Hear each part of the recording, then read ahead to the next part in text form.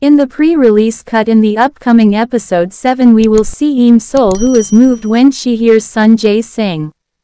The night of the concert, Im Sol was seen standing outside the concert hall. She sat outside while listening to the concert.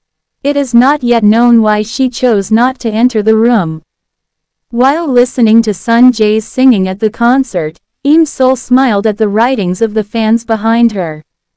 Until when Sun Jae sang one of the songs that Sun Jae had sung at the last concert before the news of his death was heard in Korea.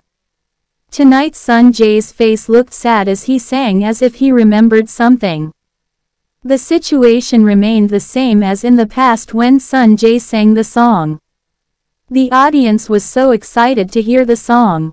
So was Im Sol who immediately stood up when she heard when Sun Jae sang the song. She was moved to tears and held her chest like she couldn't believe she could hear that song again. Is it possible that Im Sol will meet Sun Jae after the end of the concert? Could it be that Sun Jae will pretend not to recognize Im Sol? Please write your comments below.